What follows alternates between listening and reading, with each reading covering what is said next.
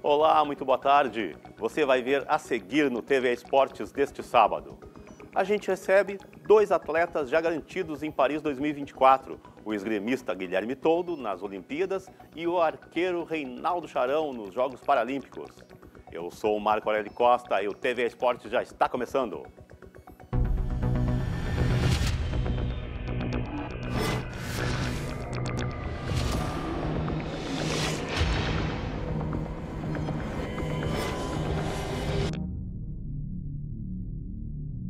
Vamos abrir o programa hoje aqui no estúdio recebendo Reinaldo Charão e a sua esposa e participante crucial da equipe, Estela Ferreira.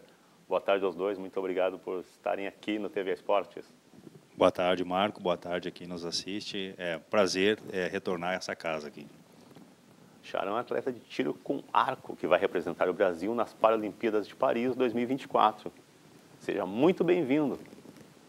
Carimbastes o passaporte para a França em julho do ano passado, ao lado da também multicampeã Jane Carla. Como essa emoção de estar garantido na competição mais importante do teu esporte?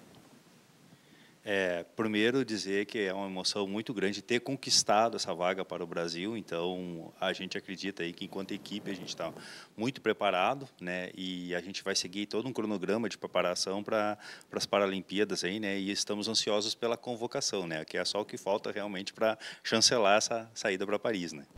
Tu chegaste há poucos dias do Rio de Janeiro, né? Uma competição em Maricá terminando em 15º lugares, onde tinham 30 atletas, é isso? Como é que foi? Sim, no qualificatório a gente conseguiu a posição 15º, né, é, estreando o arco novo. Então, essa competição para mim ela foi um desafio, porque ela é uma competição olímpica, ela não é paralímpica, né? Mas como ela era aberta, eu me inscrevi nela, né? Fui com, com, com, com os próprios recursos, né, para essa competição. Então, eu estreiei o arco lá, consegui ficar em 15º no qualificatório, mas terminei o campeonato em nono, ou seja, terminei numa posição muito, muito boa. Agora, uma curiosidade minha, depois a gente vai continuar, né, cara? Furioso, Conta é. a história do Furioso. Sei que tem o Cepé, tem o Tiaraju e agora é. chegamos no Furioso. Conta para nós. É, a cada arco que eu tenho, eu acabo colocando o nome deles. Né? Meu, meu, primeiro arco em 2019 foi o Cepé né, que, era, que era um arco vermelho. É, em 2021 eu consegui adquirir um pouquinho, um arco um pouquinho melhor, né, porque a gente, no, nesse tipo de esporte, né, o alto rendimento, principalmente, os equipamentos são muito caros e a gente acaba comprando sempre de segunda, terceira, quarta mão. Né, então, depois vem o amarelo, que é o meu arco hoje que eu tenho, que é o Tiaraju, então foi o Tiaraju. E esse aqui é o Furioso porque ele é um arco cedido pela Confederação Brasileira de Tiro com Arco, é um arco é, top hoje em dia, né? então é um arco de última linha, de última produção, e eles entregaram para mim no final de dezembro, então eu estou treinando com ele desde janeiro, né? e como eu digo, né? eu estou domando o arco, mas acho que ele também está me domando. Né? Então por isso que eu levei ele para o Sul Brasileiro e agora eu quero levar ele para o Parapan-Americano, além das próximas duas provas que a gente tem aqui no Campeonato Gaúcho. Né? Quero utilizar ele para ficar com ele tinindo aí para Paris. Agora me conta o que, que tem esse arco que tornou ele mereceu ser batizado de Furioso. é um arco composto, tá? Ele é um arco um pouquinho diferente dos outros arcos que a gente está acostumado a ver. É, ele tem na frente dele aqui um scope, essa essa zona aqui. É, tem uma lente, né? Uma lente de precisão, né? Uma lente que aproxima o alvo. Aqui atrás dele aqui a gente tem que a gente chama de de PIP, né, que ele tem uma abertura também. A gente olha pelo PIP com o scope, faz o eclipse e com isso tenta é, deixar o braço mais firme possível no centro do alvo para tirar a flecha no centro do alvo, né?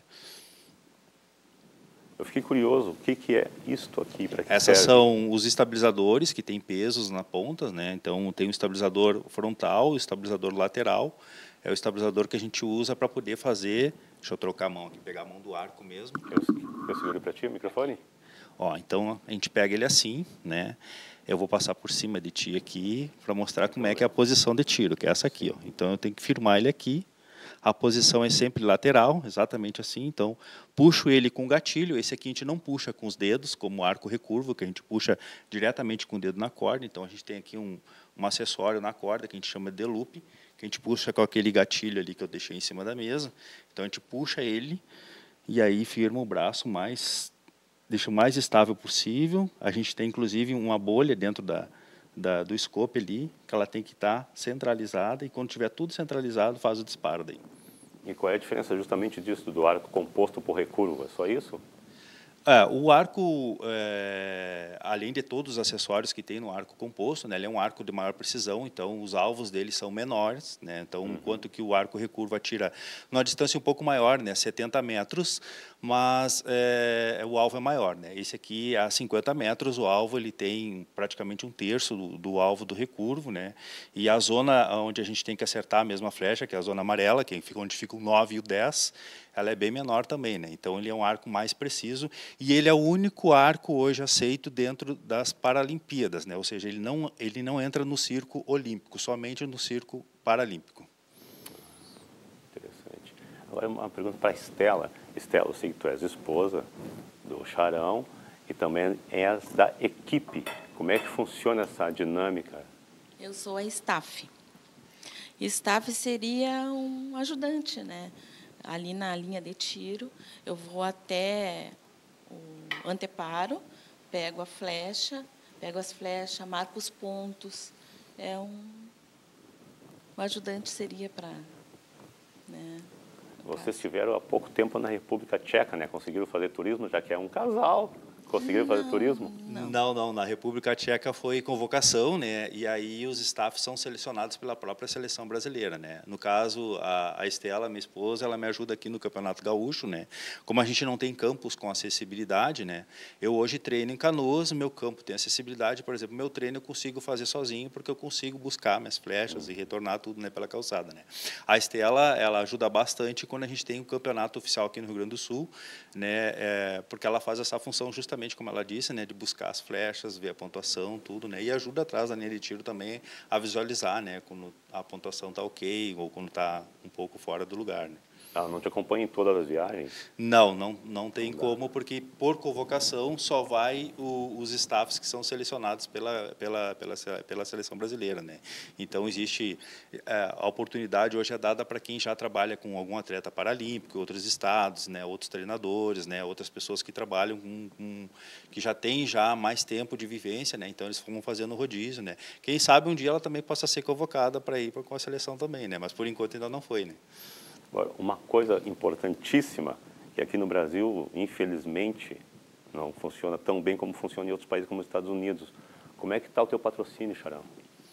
Hoje eu tenho, né, desde de setembro do ano passado, consegui apoio aí, né, um patrocínio oficial das loterias caixas, né, então é, ajuda bastante, né, e, e desde 2021 conforme os resultados, né? Quando eu fui campeão brasileiro em 2021 pela primeira vez, eu tenho o apoio aí do Bolsa Atleta, né? Então são as, os dois apoios oficiais que eu tenho, né?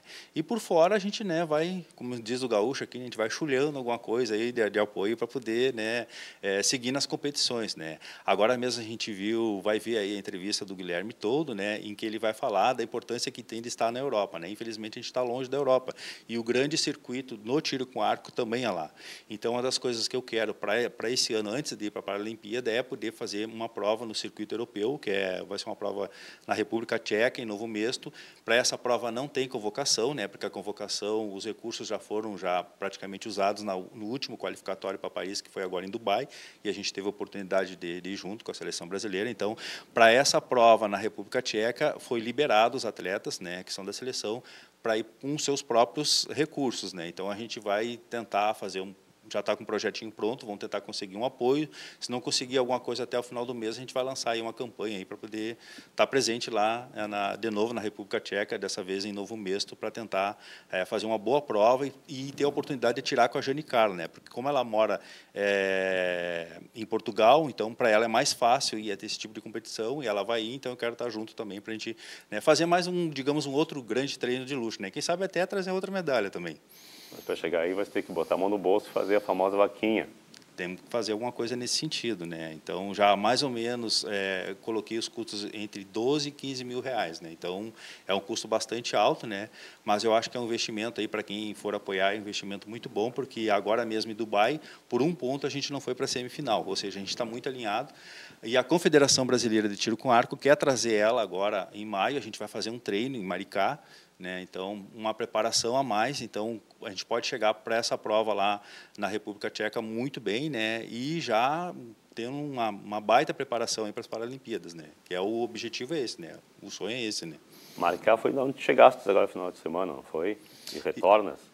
Isso, Maricá é onde fica a sede da Confederação Brasileira de Tiro com Arco, né? Então é lá que a gente vai fazer os training camp, né? Então eles estão programando fazer um training camp agora em seguida do para Pan-Americano que vai ter é, no final de abril em São Paulo e em maio a gente, né, vai ter esse, creio que em maio a gente vai ter esse treinamento em campo, uns 10 dias lá, 15 dias lá, né? Que vai ser muito importante para a preparação da seleção brasileira ficasse em 15 aí fosse para nono no geral, né? Depois, no geral, terminei nono ali. 30, não é pouca coisa não, isso. Não, é, e é olímpico, né? Não é paralímpico, Sim. né? Então... é, foi um grande feito, foi, parabéns. Foi sim, foi sim, foi muito bom, foi muito bom. E eu quero participar de mais competições assim, né? É porque é, no, no, no, no olímpico, né? Onde tem o, o, arco composto ele não aceita na, na, nas Olimpíadas, mas ele faz parte do circuito mundial e a gente tem arqueiros muito bons no Brasil, né? Mas eles estão ali naquela, naquele eixo ali, né? Rio São Paulo, né? Então poder ir até lá e poder tirar junto com eles é muito bom, né? E no sul brasileiro foi melhor ainda porque nós tivemos arqueiros aí da América do Sul, da América Central, né? Que são arqueiros muito bons e estão sempre ali entre os top 10 no mundo ali, então tiveram presente, então foi muito bom atirar ao lado desse, desse pessoal assim, né? A gente ganha um um plus a mais assim, né, de, de experiência, né. Como é esse suporte das instalações e a logística que a confederação fornece para os seus atletas? É, é essa última gestão que está agora, né, vai encerrar o ciclo dela no, no final do ciclo olímpico, ela está apoiando bastante no sentido de, né, agora conseguir esse material, como o arco, né, essas flechas aqui, Marco, ó, são flechas que custam em torno de 400 reais, né, uma flecha, né, uma flecha só. Então, eu tenho todo o cuidado quando eu vou treinar com ela no meu campo lá, porque uma flecha perdida que a gente não consegue achar são 400 reais que fica lá, né? Então, esse aí é um apoio também que a confederação está dando para a gente, né? Ela entregou já um jogo com 12, 12 flechas para a gente, então é, isso é importante, né? Porque são flechas de, de, ponta, são flechas, né? Que realmente os grandes arqueiros do mundo utilizam, né? E agora com arco de ponta, ou seja, é basta treinar, né? Ter uma boa preparação que eu acho que vai dar um um, bom caldo pela frente. Né? Eu preciso mencionar também que um apoio que eu tive esse ano foi de uma empresa da França, né, que produz o gatilho que eu disparo o arco. Então, o gatilho que eu estou utilizando hoje, é, eu comprei os dois primeiros que eu tenho, mas esse ano eu recebi o apoio dessa, dessa empresa, da Arc System da França, para me doar um gatilho, né, mandaram um gatilho para mim, mais alguns acessórios também para me apoiar nessa empreitada. Aí. Então, conquistaste o bicampeonato brasileiro em 2022. Fala dos teus títulos e a tua trajetória nesse esporte. É, o arco, um arco composto mesmo, eu iniciei em 2019, né? Então, é, foi um arco que eu fiquei muito bem é, à vontade com ele e já consegui resultados no primeiro ano, né? Fui campeão gaúcho indoor, né, e já consegui passar na primeira seletiva em 2019, fui convocado para uma competição que seria no México em 2020, infelizmente não, fui, não fomos por conta da pandemia, né, então depois retomamos em 2021 e para minha surpresa já consegui ser campeão brasileiro pela primeira vez em 2021, 2022 consegui repetir o feito, 2023 eu tive um aprendizado muito grande, antes de ir para a República Tcheca em abril, está é, tá fazendo um ano agora, né, eu tive uma lesão muito forte no ombro e o campeonato foi em maio, mesmo assim eu consegui no campeonato, consegui o terceiro lugar, ainda consegui permanecer na seleção, porque era seletiva também, né? E consegui ir para esse Mundial na República Tcheca. Consegui me recuperar até o final de julho, né? E tanto é que a gente conseguiu esse vice-campeonato mundial por equipe, né? Então, foi um grande aprendizado de que às vezes a gente não pode é, é, colocar carga demais no treino, né? Então, uma coisa que eu estava muito empolgado com essa convocação para o Mundial, botei uma carga muito grande, né? E, e quase fiquei fora do brasileiro por causa disso, né? Esse ano a gente está preparado de novo. O brasileiro vai ser depois depois da Paralimpíada, em outubro, e esse ano vai ser um ano diferente. Né? Além de eu tentar buscar o tricampeonato, eu quero ver se consigo levar uma equipe gaúcha aqui é, do nosso clube, né, da RS para Desporto, lá para São Paulo, né? vai ser lá no CPB, levar uma equipe aí dos alunos que eu tenho hoje no, no tiro com arco paralímpico. Né? Falamos com Estela, que é equipe e esposa, e com o atleta do arco, tiro com arco, Charão. Charão, muitíssimo obrigado. Estela, Charão, muitíssimo obrigado pela entrevista e muito boa sorte na Paralimpíada de França 2024. Medalhas. Desafio é grande, mas vamos lá, né? E como eu sempre digo, né? É, é, promessa é, é, a gente tenta cumprir, né? Vamos ver se depois das Paralimpíadas a gente consegue apresentar a medalha aqui na, na TVE aqui. Bom, muito obrigado. Vamos agora para um rápido intervalo, mas já voltamos com mais TV Esportes.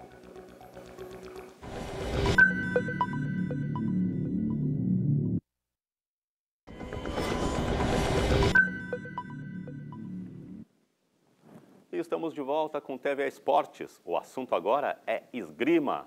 O porto-alegrense Guilherme Todo garantiu agora, em março, uma vaga nos Jogos Olímpicos da França 2024 Será a quarta Olimpíada deste atleta do Grêmio Náutico União, que conversa agora com a gente. Boa tarde a todos, seja bem-vindo.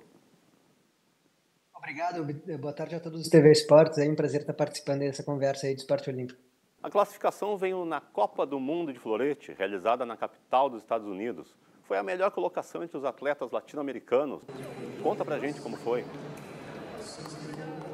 Então, foi uma competição bem, bem estressante, né? Até porque era a última prova de válida né, para a corrida olímpica, então é, eu estava bem preparado, eu estava bem focado no meu objetivo e que era jogar bem, né? Que era fazer a minha esgrima, já que eu já estava eu tenho, já tinha uma vantagem de pontos, né, em cima dos meus adversários é, nessa corrida de classificação olímpica, então eu estava muito concentrado para fazer a minha esgrima, tinha treinado bastante para aquele momento e, e, apesar de ter começado um pouco é, mal na, na, nas preliminares, ali na fase de grupos, ali não comecei é, tão relaxado, tão bem, tão concentrado, é, durante a competição ali eu comecei a evoluir, a me sentir adaptado né, à, à competição e, aquele, e aquela tensão da competição começou a me a, a me dar um apoio positivo, né? Justamente para alcançar o objetivo de classificação e felizmente eu consegui entrar no quadro principal e como tu mencionaste é, o melhor resultado dentre os é, atletas americanos né todo o continente americano e confirmar a vaga né ali para o Brasil de como representante da América né no florete masculino é, tá ali presente na, na prova das Olimpíadas representando o Brasil todo quais os próximos compromissos visando a preparação para as Olimpíadas Bom, a minha preparação até o fim de, de julho, né? Vai ser bem corrida, tem um monte de competições é, a, a, dentro do calendário, tem um monte de compromissos e dentro deles tem as etapas do circuito mundial, que são as provas que definem né, o ranking né, o, pra, o ranking e os cruzamentos ali da classificação olímpica. E também tem o campeonato italiano aqui, que eu vou ter a oportunidade de competir, o campeonato brasileiro, o campeonato pan-americano. Então, são essas provas aí que vão anteceder a, a competição dos Jogos Olímpicos ali é, no final de julho. Então, eu tenho é, de abril até junho é, muitas competições aí a serem disputadas. Vai ser um calendário bastante corrido, bastante intenso, mas, mas é dentro da. Mas tá tudo dentro do programa, tá tudo organizado e eu estou preparado aí para essa para essa reta final aí de, de, de participação aí do, do circuito olímpico. Então estou é, bem motivado para poder chegar bem nessas últimas provas conseguir umas pontuações é, que me levem né numa situação de ranqueamento que possa ter uma, uma um melhor quadro né, nos Jogos Olímpicos. É, uma vez que ainda tem essas competições ainda para acontecer e, e, e tem uns pontos para definir meus adversários ainda. Então eu estou bem preparado, que nem eu mencionei é, antes na minha preparação para a última prova de classificação em Washington. É, eu estou pensando em mim, estou pensando na minha esgrima, estou treinando bastante para poder é, me colocar numa situação onde eu possa render melhor e dar o melhor de mim.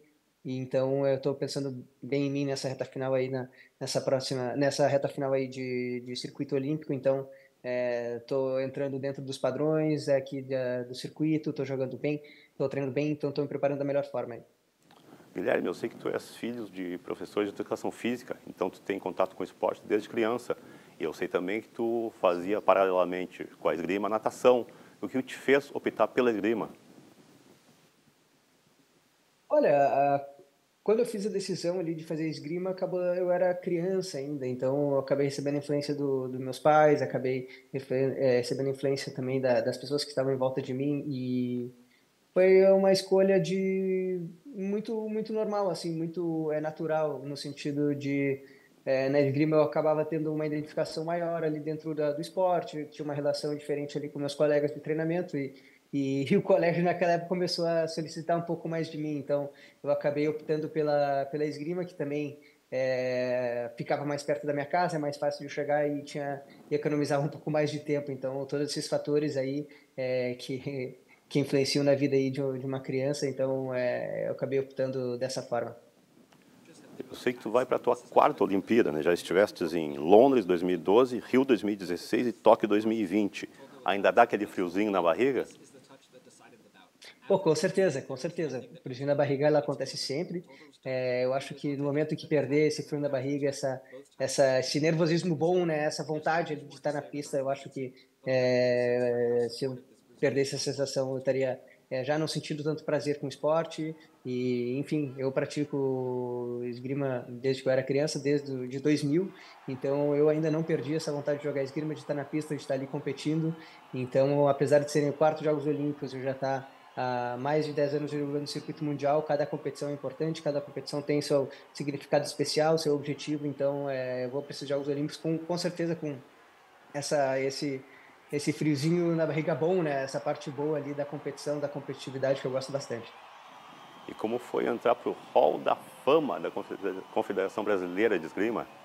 Foi muito legal, foi muito legal, foi muito importante, né? Receber o reconhecimento, né? Dentro do ambiente da esgrima é, nacional, é, uma vez que foi é, uma vida que eu me dedico ao esporte, uma vida que eu me dedico a, a levar o Brasil a sempre é, a, a alcançar resultados inéditos.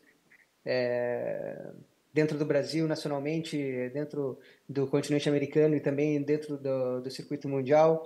Então, em diversos níveis de competição, eu consigo, eu consegui fazer boas prestações, consegui me, me preparar muito bem e, e, esse prêmio aí ele chegou para realmente reconhecer todo esse meu esforço e foi uma, uma uma cerimônia muito bonita que eu tive a oportunidade de, de agradecer a todas as pessoas que estiveram perto de mim, que me ajudaram, né, desde que eu era pequeno a, a, a, gostar desse esporte, a me envolver com esse esporte e, e, e praticar é, com prazer. Então, é, eu acho que esses são os grandes segredos ali para formar os campeões, que é justamente tornar um ambiente é, amigável e propício né, para o desenvolvimento ali da, da criança poder se desenvolver e crescer e maturar dentro de um esporte tão legal. Então, é, foi uma cerimônia que eu pude absorver todas, isso, todas as informações aí e também é, foi um prazer compartilhar com todo mundo que estava presente.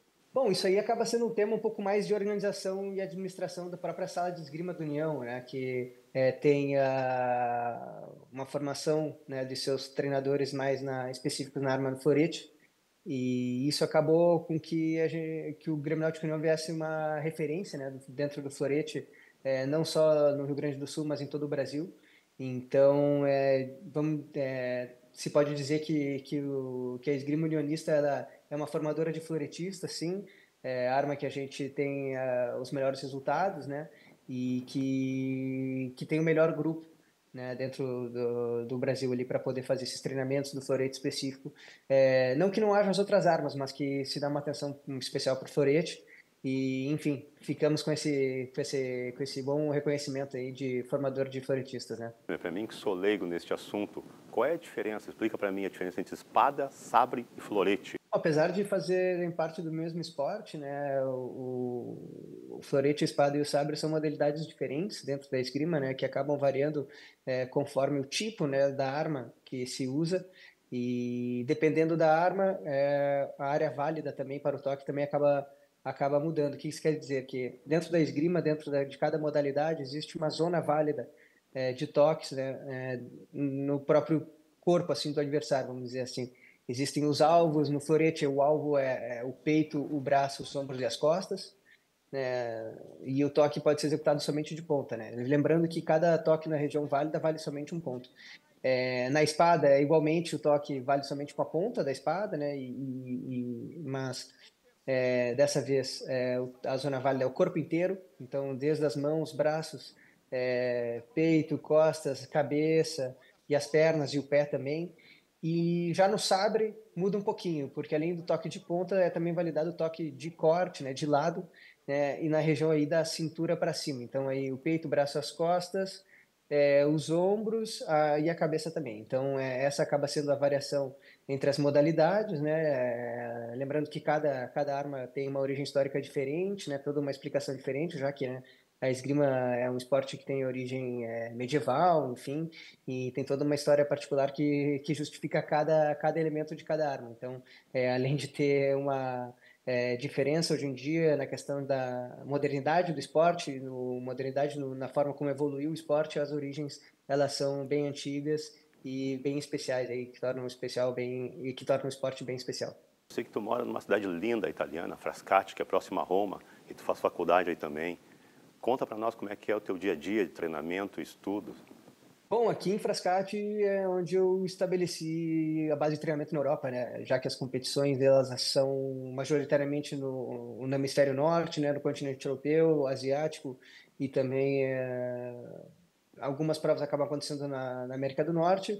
É, enfim, então é, tá aqui durante a temporada me ajuda a reduzir né, os tempos de viagem, os custos de deslocamento, né, e toda a logística que envolve a preparação do atleta. Então, aqui em Frascati eu consegui estabelecer uma base muito legal no Clube Frascati Esquerma, é, onde eu consigo ter contato com outros atletas de alto nível, né, do, do circuito mundial. Então, é um ambiente bem é, importante, né, para se manter treinando em alto nível e estar tá é, man, me manter no alto rendimento e isso me fez crescer bastante. Eu que já estou aqui desde 2012 fazendo esse intercâmbio, então foi muito bom para mim, para o meu crescimento como atleta, para meu para minha maturação, né, para eu poder chegar no, em, em, bons resultados no alto rendimento. Então é um lugar que eu tenho é, muito carinho, né, e venho fazendo essa preparação aqui também para os Jogos de Paris também aqui. E e toda essa relação aqui que eu tenho é, aqui com o clube, é, eu, é, todas as experiências que eu acumulo, eu acabo trazendo para o Brasil, trazendo para o Grêmio Náutico União. É, toda vez que eu volto, é, entre, entre, vamos dizer, as brechas né, do, do calendário, eu acabo voltando para o Brasil, fazendo minha preparação de base também no Grêmio Náutico União. Eu tento trazer essas meu, esse meu conhecimento, essas minhas experiências aí para os colegas aí, e ajudar a desenvolver esgrima bem dentro do, do Grêmio Náutico União e também dentro do país. Falamos com Guilherme Todo. Muitíssimo obrigado pela entrevista, Guilherme. E muito boa sorte em França, na França 2024 Olimpíadas. Muito obrigado, eu que agradeço. Hein? E o TV Esportes hoje vai ficando por aqui. A gente volta no próximo sábado ao meio-dia. Um bom final de semana a todos e até lá.